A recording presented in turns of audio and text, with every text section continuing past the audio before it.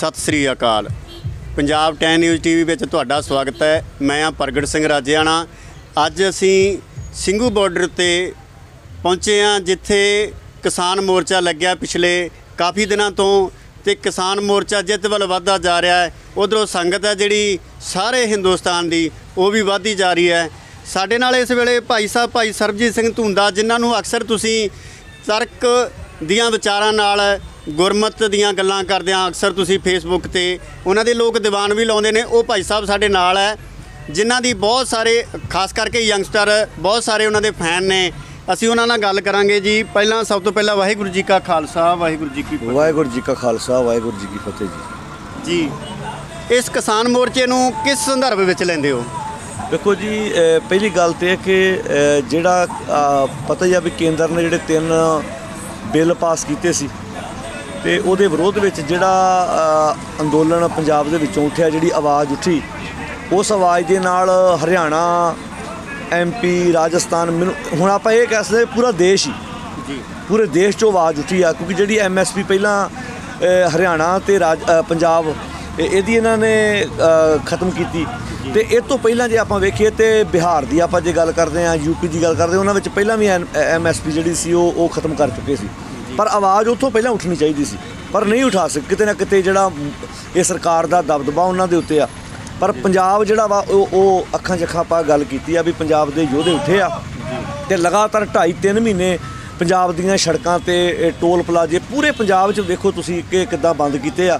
ਤੇ ਹਰ ਨੌਜਵਾਨ, ਬਜ਼ੁਰਗ, ਮਾਤਾ ਬੱਚੇ ਸਾਰਿਆਂ ਨੇ ਮਤਲਬ ਮੋਢੇ ਨਾਲ ਮੋਢਾ ਜੋੜ ਕੇ ਇਸ ਅੰਦੋਲਨ ਦੇ ਵਿੱਚ ਜਿਹੜਾ ਵਾ, ਉਹ ਹਿੱਸਾ ਲਿਆ ਵਾ।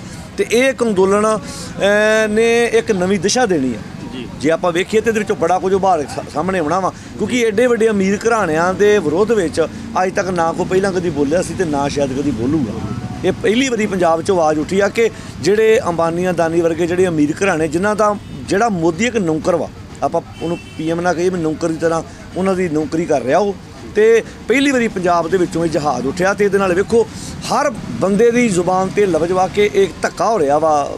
ਕਿਉਂਕਿ ਕੱਲੇ ਲੱਗਦਾ ਕਈਆਂ ਨੂੰ ਵੀ ਸ਼ਾਇਦ ਕੱਲਾ ਇਹ ਕਿਸਾਨਾਂ ਦਾ ਅੰਦੋਲਨ ਆ। ਨਹੀਂ। ਇਹਦੇ ਨਾਲ ਕੱਲਾ ਕਿਸਾਨ ਨਹੀਂ ਆ। ਜੇ ਹਿਸਾਬ ਨਾਲ ਵਾਧੇ ਜਾ ਰਿਹਾ ਤੇ ਨਾਲ ਨਿੱਕਾ ਦੁਕਾਨਦਾਰ ਵੀ ਮਰਨਾ। ਆੜਤੀਆ ਤੇ ਖਤਮ ਹੋਣਾ ਨਾ ਨਿੱਕੇ ਨਿੱਕੇ ਦੁਕਾਨਦਾਰ ਵੀ ਖਤਮ ਹੋਣੇ ਵੱਡੇ ਵੱਡੇ ਮਾਲ ਖੋਲ ਦੇਣੇ ਉਹਨਾਂ ਨੇ। ਇਹਦੇ ਸਾਨੂੰ ਸਾਰਿਆਂ ਨੂੰ ਤਗੜੇ ਹੋ ਕੇ ਜੰਗ ਲੜਨ ਦੀ ਲੋੜ ਆ ਤਾਂ ਕਿ ਇਹੋ ਜਿਹੇ ਅਮੀਰ ਘਰਾਣੇ ਜਿਹੜੇ ਧੱਕਾ ਕਰਕੇ ਆਮ ਵਰਗ ਨੂੰ ਉੱਠਣ ਨਹੀਂ ਦੇ ਰਹੇ ਤੇ ਗੁਰੂ ਕਿਰਪਾ ਕਰੇ ਇਹ ਇਹਦੇ ਵਿੱਚੋਂ ਆਪਣੀ ਜਿੱਤ ਪ੍ਰਾਪਤ ਜ਼ਰੂਰ ਹੋਏ। ਜੀ। ਭਾਈ ਸਾਹਿਬ ਜੀ ਬਹੁਤ ਸਾਰੇ ਜਿਹੜੇ ਹੈ ਹਿੰਦੂਤਵੀ ਲੀਡਰ ਹੈ ਤੇ ਕੁਝ ਮੀਡੀਆ ਦੇ ਕੁਝ ਪਾਰਟ ਹੈ। ਉਹ ਜਿਹੜਾ ਹੈਗਾ ਸਿੱਖਾਂ ਨੂੰ ਖਾਸ ਕਰਕੇ ਇਸ ਐਜੀਟੇਸ਼ਨ 'ਚ ਆਉਣ ਵਾਲੇ ਲੋਕਾਂ ਨੂੰ ਖਾਲਸਤਾਨੀ ਦੱਸ ਰਿਹਾ ਤੇ ਮੈਂ ਹੁਣੇ ਕਿ ਪਿੱਛੇ ਮੱਧ ਪ੍ਰਦੇਸ਼ ਤੋਂ ਆਏ ਹਿੰਦੂ ਵੀਰਾਂ ਨਾਲ ਹਰਿਆਣੇ ਦੇ ਵੀਰਾਂ ਨਾਲ ਗੱਲ ਕਰਕੇ ਆਇਆ। ਤੇ ਉਹ ਕਹਿੰਦੇ ਆ ਵੀ ਜੇ ਇਹ ਆਪਦੇ ਹੱਕ ਮੰਗਣੇ ਖਾਲਸਤਾਨੀ ਆ ਤਾਂ ਅਸੀਂ ਖਾਲਸਤਾਨੀ ਆ। ਬਿਲਕੁਲ ਤੁਸੀਂ ਕੀ ਸੋਚਦੇ ਹੋ ਵੀ ਹੱਕ ਮੰਗਣੇ ਆ ਪੈਣ ਤਾਂ ਉਹ ਖਾਲਸਤਾਨੀ ਹੋ ਜਾਂਦੇ ਨੇ? ਵੇਖੋ ਗੱਲ ਤੇ ਆ ਵੀ ਇਹ ਤੇ ਹੁਣ ਇਹ ਸਿਰਫ ਨੈਸ਼ਨਲ ਮੀਡੀਆ ਜਿਹੜਾ ਨਾ ਉਹ ਇਸ ਇਹਨੂੰ ਇਹਨੂੰ ਗੱਲ ਹਾਈਲਾਈਟ ਕਰ ਰਿਹਾ ਵੀ ਇਹ ਜਿੰਨੇ ਇਕੱਠ ਵਾ ਇਹ ਕਿਸਾਨਾਂ ਦਾ ਨਹੀਂ ਇਹ ਖਾਲਿਸਤਾਨੀਆਂ ਦਾ। ਵੀ ਇਹਨਾਂ ਦੇ ਪਿੱਛੇ ਖਾਲਿਸਤਾਨੀ ਕੰਮ ਕਰ ਰਿਹਾ ਤੇ ਤੁਸੀਂ ਵੇਖੋ, ਅੱਜ ਹਰ ਵੀਰ ਨੇ ਕਿਹਾ ਵੀ ਜੇ ਤੇ ਆਪਣੇ ਹੱਕ ਮੰਗਣੇ ਖਾਲਿਸਤਾਨੀ ਖੋਣਾ, ਤੇ ਅਸੀਂ ਸਾਰੇ ਖਾਲਿਸਤਾਨੀ ਬਣਨ ਨੂੰ ਤਿਆਰ ਆ। ਫਿਰ ਅਸੀਂ ਸਾਰੇ ਖਾਲਿਸਤਾਨੀ ਆ। ਤੁਸੀਂ ਪਹਿਲੀ ਗੱਲ ਤੁਸੀਂ ਖਾਲਿਸਤਾਨ ਦੀ ਡੈਫੀਨੇਸ਼ਨ ਕੀ ਦਿੰਦੇ ਆ? ਇੱਥੇ ਹੁਣ ਤੁਸੀਂ ਵੇਖੋ ਜਿਹੜੀਆਂ ਇੱਥੇ ਹਿੰਦੂ ਭੈਣਾਂ ਆਣ ਕੇ ਪ੍ਰਸ਼ਾਦੇ ਤਿਆਰ ਕਰ ਰਹੀਆਂ। ਕੱਲ ਇੱਕ ਬੀਬੀ ਨੇ ਕਿਹਾ ਵੀ ਮੈਂ ਆਪਣੇ ਆਪ ਨੂੰ ਬਦਕਿਸਮ ਸਮਝਦੀ ਹਾਂ ਮੈਂ ਕਿਸੇ ਹੋਰ ਸਟੇਟ 'ਚ ਪੈਦਾ ਹੋਈ ਹਾਂ ਮੈਂ ਵੀ ਮੈਂ ਪੰਜਾਬ 'ਚ ਕਿਉਂ ਨਹੀਂ ਪੈਦਾ ਹੋਈ? ਇਹਦਾ ਅਰਥ ਵੀ ਤੁਸੀਂ ਵੇਖੋ ਕਿੰਨੇ ਪਿਆਰੇ ਚਿਹਰੇ, ਕਿੰਨੇ ਸੋਹਣੇ ਤਰੀਕੇ ਨਾਲ ਇੱਥੇ ਸਾਡੇ ਵੀਰ ਵਿਚਰ ਰਹੇ ਆ। ਤੁਸੀਂ ਵੇਖੋ ਕੱਲ ਇੱਕ ਮੈਂ ਇੱਕ ਹਿੰਦੂ ਵੀਰ ਦੀ ਇੰਟਰਵਿਊ ਸੁਣ ਰਿਹਾ ਸੀ ਉਹ ਕਹਿੰਦਾ ਵੀ 30 ਸਾਲ ਹੋ ਗਏ ਮੈਨੂੰ ਪੱਤਰਕਾਰੀ ਕਰਦੇ ਆ। 30 ਸਾਲਾਂ 'ਚ ਮੈਂ ਸੈਂਕੜੇ ਅੰਦੋਲਨ ਵੇਖੇ ਆ। ਉਹਨਾਂ ਅੰਦੋਲਨਾਂ 'ਚ ਬੱਸਾਂ ਨੂੰ ਅੱਗ ਲੱਗਦੀ ਆ ਦੁਕਾਨਾਂ ਸੜਦੀਆਂ ਲਾਗੇ ਚੋਰੀਆਂ ਹੁੰਦੀਆਂ ਟੁੱਟ ਭੱਜ ਹੁੰਦੀ ਆ। ਕਹਿੰਦਾ ਅੱਜ 15 16 ਦਿਨ ਹੋ ਗਏ ਨਾ ਬੰਦਿਆਂ ਨੂੰ ਰੋਡ ਤੇ ਬੈਠਿਆਂ ਨੂੰ। ਕੋਈ ਦੱਸੇ ਵੀ ਲਾਗੇ ਕਿਸੇ ਦੀ ਦੁਕਾਨ ਭੰਨੀ ਹੋਵੇ ਕੁਛ ਚੋਰੀ ਹੋਈ ਹੋਵੇ ਕਿਸੇ ਦਾ ਨੁਕਸਾਨ ਹੋਇਆ ਹੋਵੇ ਇੱਥੋਂ ਹਿੰਦੂ ਲੜਕੀਆਂ ਲੰਘਦੀਆਂ ਸੇਫ ਆ ਸਾਰੇ। ਹੈਲਪ ਕਰਦੇ ਆ ਇੱਥੇ ਕੱਲ ਇੱਕ ਆਟੋ ਵਾਲੇ ਵੀਰ ਦਾ ਉਹਦਾ ਜਿਹੜਾ ਸੀ ਐਕਸਲ ਟੁੱਟ ਗਿਆ ਆਟੋ ਦਾ। ਤੁਸੀਂ ਵੇਖੋ ਵੀ ਸਵਾਰੀਆਂ ਉਤਰ ਕੇ ਆਪੋ ਬੜਾ ਸਮਾਨ ਲੈ ਕੇ ਤੁਰ ਪਈਆਂ। ਸਾਡੇ ਪੰਜਾਬੀ ਵੀਰਾਂ ਉਹਦੀ ਹੈਲਪ ਕੀਤੀ। ਮੈਂ ਮੈਂ ਇੱਥੇ ਮੈਂ ਇੱਥੇ ਅੰਦਰੋਂ ਬੈਠਾ ਸੀ ਮੈਂ ਕਿਹਾ ਉਹ ਕਿੰਨੇ ਸਵਾਰਥੀ ਲੋਕ ਆ ਵੀ ਆਪਣਾ ਸਮਾਨ ਚੁੱਕ ਕੇ ਤੁਰ ਪਏ ਉਹਦੀ ਹੈਲਪ ਨਹੀਂ ਕੀਤੀ। ਸਾਡੇ ਪੰਜਾਬੀ ਨੌਜਵਾਨ ਉੱਠ ਕੇ ਮੋਢਾ ਦੇ ਕੇ ਉਹਨੂੰ ਤੇ ਉਹਦਾ ਆਟੋ ਸਾਈਡ ਤੇ ਕਰਾ ਰਹੇ ਆ। ਕਿਉਂਕਿ ਇਹ ਖੂਨ ਚ ਆ। ਪ੍ਰਸ਼ਾਦੇ ਪਕਾ ਰਹੇ ਆ। ਉਹਨਾਂ ਦੀ ਹੈਲਪ ਕਰ ਰਹੇ ਆ ਰੋਟੀਆਂ ਪਕਾ ਰਹੇ ਆ ਲੰਗਰ ਵਰਤਾ ਰਹੇ ਆ ਮੈਡੀਸਨ ਦੇ ਰਹੇ। ਆ ਤੁਸੀਂ ਵੇਖੋ ਇਸ ਅੰਦੋਲਨ ਚੋਂ ਕਿੰਨਾ ਕੁਝ ਉੱਭਰ ਕੇ ਸਾਡੇ ਸਾਹਮਣੇ ਆ ਰਿਹਾ। ਅੱਛਾ ਸਿਆਸਤ ਜਿਹੜੀ ਗੰਦਲੀ ਹੋ ਚੁੱਕੀ ਹੈ ਪਰ ਇਸ ਐਜੀਟੇਸ਼ਨ ਨੇ ਇੱਕ ਨਵੇਂ ਸਮੀਕਰਨ ਪੈਦਾ ਕਰ ਦਿੱਤੇ। ਤੁਹਾਨੂੰ ਲੱਗਦਾ ਵੀ ਸਿਆਸਤ ਵਿੱਚ ਚੰਗੇ ਚਿਹਰੇ ਆਉਣੇ ਚਾਹੀਦੇ ਜਿਹੜੀ ਸੇਵਾ ਭਾਵਨਾ ਵਾਲੇ ਹੋਣ? ਦੇਖੋ- ਤੇ ਆ ਸਮੀਕਰਨ ਇਸ ਅੰਦੋਲਨ ਨੇ ਨਵੇਂ ਸਮੀਕਰਨ ਪੈਦਾ ਕੀਤੇ। ਦੇਖੋ ਪਹਿਲੀ ਗੱਲ ਤੇ ਇਹ ਕਿ ਮੈਂ ਕੱਲ ਗੱਲ ਕੀਤੀ ਸੀ ਕਿ ਆਪਾਂ ਲੀਡਰ ਕਾਹਦੇ ਲਈ ਚੁਣਦੇ ਆ? ਭਾਵੇਂ ਐਮਪੀ ਚੁਣਦੇ ਆ ਐਮਐਲਏ ਚੁਣਦੇ ਆ। ਜਦੋਂ ਸਾਡੇ ਤੇ ਕੋਈ ਸਮੱਸਿਆ ਹੋਵੇ ਤੇ ਅੱਗੇ ਹੋ ਕੇ ਤੁਰਨ। ਫਰਜ਼ ਤੇ ਬਣਦਾ ਸੀ ਸਰਕਾਰਾਂ ਦਾ। ਐਮਪੀ ਐਮਐਲਏ ਅੱਗੇ ਹੁੰਦੇ ਜਦੋਂ ਅਥਰੂ ਗੈਸ ਦੇ ਗੋਲੇ ਸੁੱਟੇ ਉਹਨਾਂ ਦੇ ਸੁੱਟਣੇ ਨਹੀਂ ਸੀ ਉਹਨਾਂ ਕਿਉਂਕਿ ਉਹਨਾਂ ਕਹਣਾ ਵੀ ਇਹ ਲੀਡਰ ਵਾ। ਆਮ ਵਰਗ ਉੱਠ ਕੇ ਇੱਥੇ ਆਇਆ ਆਮ ਮੁਹਾਰੇ ਉੱਠ ਕੇ ਸੰਗਤ ਇੱਥੇ ਆਈ ਆ। ਨੌਜਵਾਨ ਆਸ ਨਹੀਂ ਸੀ ਹੈਗੀ ਇੰਨੀ ਸੱਚ ਇਹ ਆ। ਜਦੋਂ ਪਹਿਲੇ ਦਿਨ ਅਸੀਂ 27 ਨੂੰ ਆਏ ਸੀ ਤੇ ਥੋੜੀਆਂ ਜਿਹੀਆਂ ਟਰਾਲੀਆਂ ਸੀ। ਉਦੋਂ ਅਸੀਂ ਇੱਥੇ ਢਾਬੇ ਤੋਂ ਮੁੱਲ ਲੈ ਕੇ ਚਾਹ ਪੀਤੀ ਸੀ ਪਹਿਲੇ ਦਿਨ। ਉਸ ਤੋਂ ਬਾਅਦ ਇੱਕ ਲੰਗਰ ਦੋ ਲੰਗਰ ਤਿੰਨ ਲੰਗਰ ਉਤਸ਼ਾਹ ਉਬਾਲ ਆਇਆ। ਫਿਰ ਆਇਆ ਵੀ ਨਹੀਂ ਯਾਰ, ਇਹ ਜੰਗ ਸਾਡੀ ਇਕੱਲੇ ਦੀ ਨਹੀਂ। ਕਈ ਵਾਰੀ ਵੇਖੋ ਵੇਖੀ ਸਮਝ ਆਉਂਦੀ ਵੀ ਨਹੀਂ ਜੰਗ ਇਕੱਲੇ ਦੀ ਨਹੀਂ ਹੈਗੀ। ਇਹ ਕਿਸਾਨਾਂ ਦੀ ਜੰਗ ਨਹੀਂ ਆ ਇਹ ਹਰ ਇੱਕ ਦੀ ਜੰਗ ਆ ਸਾਨੂੰ ਤਗੜੇ ਹੋ ਕੇ ਲੜਨਾ ਪੈਣਾ। ਹੁਣ 2000 ਜਦੋਂ 22 ਦੀਆਂ ਇਲੈਕਸ਼ਨ ਆਉਣੀਆਂ, ਉਦੋਂ ਸਾਨੂੰ ਵੇਖਣਾ ਪੈਣਾ ਵੀ ਨੋਟ ਕਰਨ ਦੀ ਲੋੜ ਆ ਕਿ ਜਿਹੜੇ ਲੀਡਰ ਅੱਜ ਤੁਹਾਡੇ ਨਾਲ ਨਹੀਂ ਖਲੋਤੇ, ਫਿਰ ਉਹਨਾਂ ਦੀ ਜੇ ਝੋਲੀ ਚੁੱਕਣੀ ਤੇ ਅੱਜ ਸੜਕਾਂ ਤੇ ਬਹਿਣ ਦਾ ਕੋਈ ਫਾਇਦਾ ਨਹੀਂ। ਨੌਜਵਾਨਾਂ ਨੂੰ ਇਹ ਵੀ ਵੇਖਣਾ ਪੈਣਾ, ਜਿਹੜੇ ਬਜ਼ੁਰਗ ਅੱਜ ਸੜਕਾਂ ਤੇ ਬੈਠੇ ਆ, ਪੈਟਰੋਲ ਪੰਪਾਂ ਤੇ ਨਹਾ ਰਹੇ ਆ, ਇੱਕ ਇੱਕ ਸਾਡੇ ਸਾਹਮਣੇ ਚੁਣੌਤੀ ਆ। ਦੇਖੋ ਜੇ ਅੱਜ ਆਪਾਂ ਸਬਰ ਦੇ ਨਾਲ ਬੈਠੇ ਆ ਤੇ ਜ਼ਬਰ ਦਾ ਮੁਕਾਬਲਾ ਹੋ ਰਿਹਾ। ਅੱਜ ਸਰਕਾਰਾਂ ਕੰਮੀਆਂ ਪਈਆਂ, ਇਹ ਬੀਜੇਪੀ ਕਿਹਦੀ ਸੁਣਦੀ ਸੀ? ਇਹ ਤਾਂ ਕਿਸੇ ਨਾਲ ਗੱਲ ਨਹੀਂ ਕਰਦੀ ਸਾਰ ਹਰ ਸਟੇਟ ਨੂੰ ਪਤਾ, ਇਹ ਤੇ ਕਿਸੇ ਨੂੰ ਟਿੱਚ ਨਹੀਂ ਜਾਣਦੇ। ਇੱਥੇ ਕਿੰਨੇ ਕਿੰਨੇ ਇੱਥੇ ਆਰਾਮ ਆਰਾਮ ਦੇ ਵਿੱਚ ਬੈਠਾ ਰਿਹਾ, ਅਗਲਾ ਕਿੱਦਾਂ ਦੀ ਰਾਤ ਹੀ ਸਲਵਾਰ ਪਾ ਕੇ ਭੱਜਿਆ ਉਹ? ਆ ਅੰਨਾ ਹਜ਼ਾਰੇ ਬੈਠਾ ਰਿਹਾ, ਕਿੱਦਾਂ ਅਗਲਾ ਠਾਏ ਆ? ਇੱਧ- ਇੱਧਰ। ਹੁਣ ਹੁਣ ਸਰਕਾਰ ਜਿਹੜੀ ਆ, ਹੁਣ ਉਹ ਉਹ ਉਲਟਾ ਕਰੀ ਕਿਸਾਨ ਸਾਡੀ ਗੱਲ ਨਹੀਂ ਸੁਣਦੇ। ਕੋਈ ਕਿਸਾਨ ਜਿਹੜੇ ਆ ਆਪਣੇ ਸਬਰ ਨਾਲ ਬੈਠੇ ਅਸੀਂ ਕੋਈ ਜੰਗ ਕਰਨ ਨਹੀਂ ਆਏ। ਨਾ ਕੋਈ ਹਥਿਆਰ ਲੈ ਕੇ ਆਇਆ ਬੰਦਾ ਵੀ ਲੜਨਾ ਵਾ। ਐ ਧੀਰਜ ਨਾਲ ਬੈਠੇ, ਇੱਥੇ ਤੇ ਛਿਆਂ ਛਿਆਂ ਮਹੀਨੇ ਦਾ ਰਾਸ਼ਨ ਨਾਲ ਬੰਨ ਕੇ ਆਏ ਆ। ਇਹ ਨਹੀਂ ਵੀ ਕਾਲੇ ਆ ਵੀ ਦੋ ਦੋ ਚੱਲ ਜਾਣਾ ਵਾ। ਨਾ, ਐ ਬੈਠੇ ਵੀ ਕੋਈ ਗੱਲ ਨਹੀਂ ਕਣਕਾਂ ਬੀਜ ਆਏ ਆ, ਪਾਣੀ ਲੱਗੀ ਜਾਣਾ ਵਾ। ਐ ਟਿਕਾ ਨਾਲ ਬੈਠੇ ਆ। ਆਪੇ ਇਹਨਾਂ ਨੂੰ ਮਹਿਸੂਸ ਹੋਏਗਾ ਤੇ ਇਹ ਹੁਣ ਅੰਦੋਲਨ ਇਕੱਲੇ ਪੰਜਾਬ ਦਾ ਹੀ ਨਹੀਂ ਹੈਗਾ, ਇਕੱਲੇ ਦੇਸ਼ ਦਾ ਨਹੀਂ ਪੂਰੀ ਦੁਨੀਆ ਦਾ ਬਣ ਚੁੱਕਾ। ਜਿੰਨਾ ਹੰਗਾਰਾ ਬਾਹਰਲੀਆਂ ਕੰਟਰੀਆਂ 'ਚ ਮਿਲਿਆ ਨਾ ਤੁਸੀਂ ਮੰਨਣਾ ਨਹੀਂ ਵੀ ਉਹਨਾਂ ਦੀ ਵੀ ਸੋਚ ਤੋਂ ਪਰੇ ਦੀ ਗੱਲ ਹੋ ਗਈ ਵੀ ਇੰਨਾ ਹੰਗਾਰਾ ਮੇਰੀ ਅੱਜ ਹੀ ਗੱਲ ਕੈਲਗਰੀ ਹੋਣ ਦੀ ਸੀ ਵੀਰ ਨਾਲ ਵੀਰ ਰਣਵੀਰ ਸਿੰਘ ਨਾਲ ਮੇਰੀ ਗੱਲ ਹੋਣ ਦੀ ਸੀ ਉੱਥੇ ਕੈਲਗਰੀ ਆ। ਬੜੇ ਸਾਡੇ ਪਿਆਰ ਵਾਲੇ ਉਹ ਦੱਸ ਰਹੇ ਸੀ ਵੀ ਜਿਹੜੇ ਸਾਡੇ ਇੱਥੋਂ ਦੇ ਬੌਰਨ ਬੱਚੇ ਆ ਕੈਨੇਡਾ ਦੇ ਕਹਿੰਦੇ ਉਹ ਉਹਨਾਂ ਅੰਦਰ ਵੀ ਹਮਦਰਦੀ ਜਾਗ ਰਹੀ ਆ ਇਹ ਇਸ ਅੰਦੋਲਨ ਪ੍ਰਤੀ ਵੀ ਜਿਹੜੀ ਗੱਲ ਅਸੀਂ ਨਹੀਂ ਸੀ ਪੈਦਾ ਕਰ ਸਕੇ ਬੱਚਿਆਂ ਅੰਦਰ ਉਹ ਆਪਣੇ ਆਪ ਮੁਹਾਰੇ ਪੈਦਾ ਹੋ ਰਹੀ ਆ ਕਿਉਂਕਿ ਉਹ ਵੀ ਨਿਊਜ਼ਾਂ ਪੜ੍ਹਦੇ ਆ। ਉਹ ਵੀ ਖਬਰਾਂ ਵੇਖਦੇ ਆ ਉਹ ਵੀ ਸਭ ਕੁਝ ਉਹਨੂੰ ਪਤਾ ਵਾ।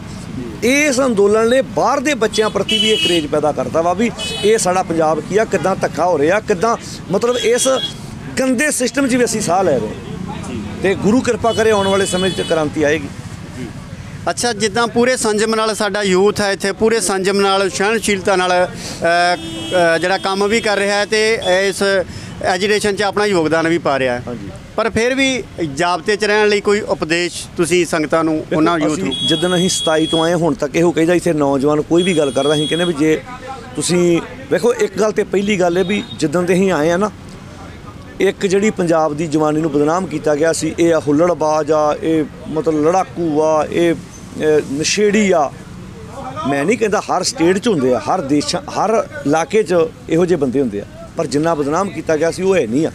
ਇੱਥੇ ਵੇਖੋ, ਨੌਜਵਾਨ ਇੱਥੇ ਸਾਡੇ ਵਿਚਰਦੇ ਆ ਹੈਲਪ ਕਰਦੇ ਆ, ਮਦਦ ਕਰਦੇ ਆ, ਬੜੇ ਜਾਬਤੇ 'ਚ ਉਹਨਾਂ ਨੂੰ ਨਾਲ ਨਾਲ ਸਟੇਜ ਤੋਂ ਵੀ ਅਨਾਉਂਸ ਹੁੰਦਾ ਰੋਜ਼ ਕਿ ਆਪਾਂ ਬੜੇ ਸੰਜਨਾ ਆਪਾਂ ਲੜਨ ਨਹੀਂ ਆਏ ਇੱਥੇ। ਨੰਗੀਆਂ ਤਲਵਾਰਾਂ ਲੈ ਕੇ ਲਹਿਰਾਉਣ ਦੀ ਲੋੜ ਨਹੀਂ। ਜਿਹੜਾ ਨੈਸ਼ਨਲ ਮੀਡੀਆ ਤੁਹਾਨੂੰ ਉਹ ਜੋ ਪੇਸ਼ ਕਰਨਾ ਚਾਹੁੰਦਾ, ਉਹਨੇ ਉਹਨੇ ਮੋਹਰ ਲਾ ਦੇਣੀ ਵੀ ਇਹ ਲੜਨ ਆਏ ਆ। ਅਸੀਂ ਲੜਨ ਨਹੀਂ ਆਏ, ਇੱਥੇ ਬੈਠੇ ਅਸੀਂ ਆਪਣੇ ਹੱਕ ਦੀ ਗੱਲ ਕਰਦੇ। ਹੱਕ ਕੱਲਾ ਸਾਡਾ ਨਹੀਂ।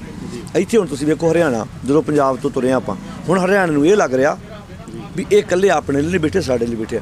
ਇੱਕ ਪਿੰਡ ਚੋਂ ਇੱਕ ਟਨ ਦੁੱਧ ਆਉਣਾ, ਲੱਸੀਆਂ ਦੇ ਲੰਗਰ ਲੱਗ ਜਾਣੇ, ਇਹਦਾ ਅਰਥ ਉਹਨਾਂ ਦਾ ਕਰੇਜ ਆ। ਜਦੋਂ ਨਾ ਪੰਜਾਬ ਤੋਂ ਚੱਲੇ ਸੀ ਕਿੰਨੇ ਬੈਰੀਗੇਟ ਨਾਲ ਲਾਏ ਖੱਟੜ ਸਰਕਾਰ ਨੇ, ਹਰਿਆਣੇ ਵਾਲੇ ਵੀਰਾਂ ਨੇ ਉਹ ਪਾਰ ਕਰਾਏ ਆ। ਫਿਰ ਉਹ ਕਲੰਕ ਧੋਤਾ, ਹਰਿਆਣੇ ਦੇ ਵੀਰਾਂ ਨੇ ਸਰਕਾਰ ਵੱਲੋਂ ਲੱਗਾ ਹੋਇਆ ਕਲੰਕ, ਪ੍ਰਸ਼ਾਸਨ ਵੱਲੋਂ ਲੱਗਾ ਹੋਇਆ ਕਲੰਕ ਧੋਤਾ ਵਾ।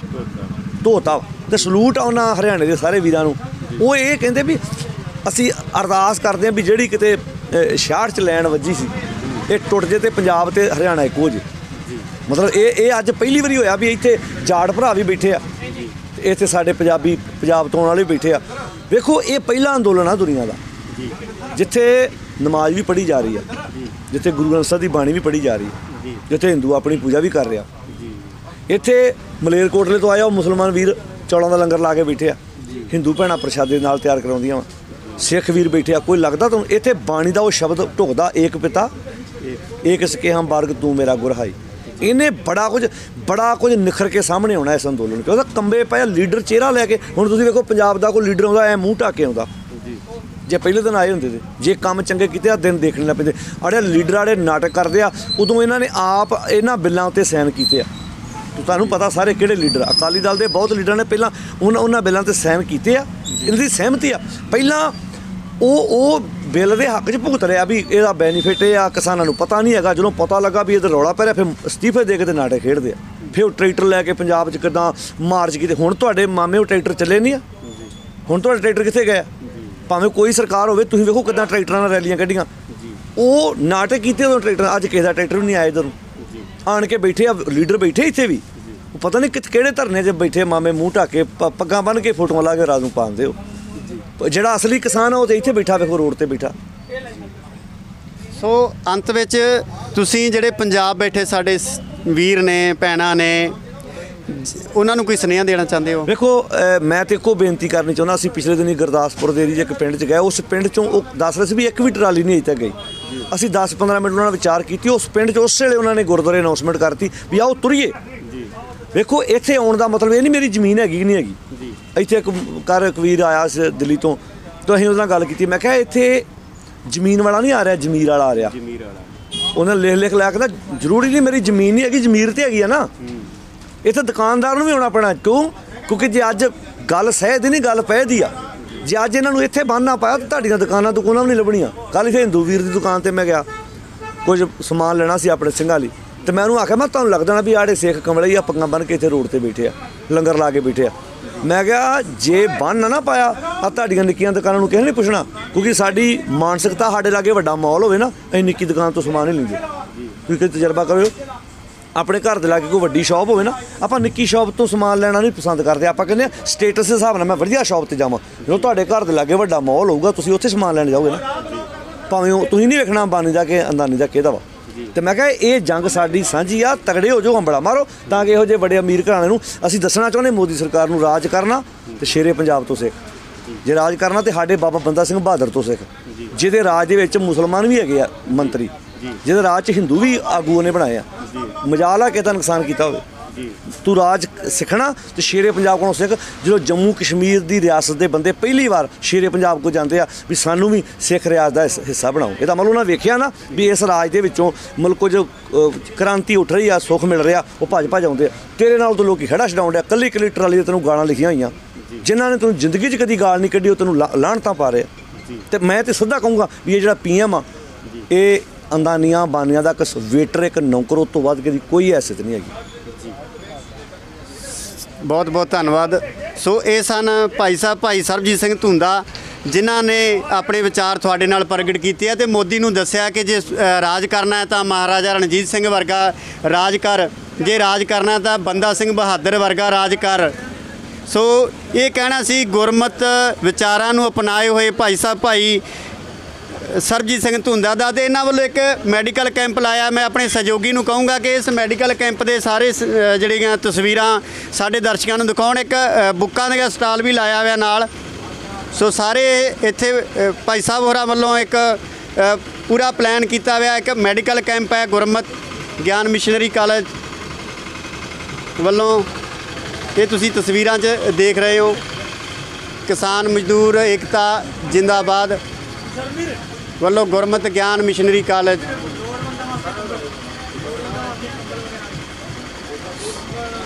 ਸੋ ਬਾਬਾ ਜੀ ਵੱਲੋਂ, ਅੱਛਾ, ਹੋਰ ਦੱਸ ਦਈਏ, ਭਾਈ ਸਾਹਿਬ ਹੋਰਾਂ ਵੱਲੋਂ ਇੱਕ ਆਹ ਸੇਵਾਵਾਂ ਵੀ ਹੈ। ਹੋਰ ਦੱਸ ਦਈਏ ਕਿ ਆ ਟਾਵਲ ਪਏ ਨੇ, ਤੌਲੀਏ, ਸਾਬਣ, ਬੁਰਸ਼, ਜਿਹੜੇ ਵੀ ਜੋ ਵੀ ਆਪਣੇ ਅੰਡਰਗਾਰਮੈਂਟਸ ਹੈ, ਉਹ ਵੀ ਭਾਈ ਸਾਹਿਬ ਹੋਰਾਂ ਵੱਲੋਂ ਇੱਥੇ ਸੰਗਤਾਂ ਲਈ ਪ੍ਰੋਵਾਈਡ ਕੀਤੀਆਂ ਗਈਆਂ। ਹੈ ਕੰਬਲ ਵੀ ਪਏ ਨੇ। ਆ ਕੰਬਲਾਂ ਦੇ ਬੰਡਲ ਤੁਸੀਂ ਤਸਵੀਰਾਂ 'ਚ ਦੇਖ ਰਹੇ ਹੋ। ਇਹ ਇਹ ਸਭ ਭਾਈ ਸਾਹਿਬ ਦੇ ਦੀ ਬਦੌਲਤ ਹੈ ਕਸ਼ਹਿਰੇ ਆ ਭਾਈ ਸਾਹਿਬ ਜੀ ਇਹ ਇਹਦੇ 'ਚ ਕੀ ਹੈ?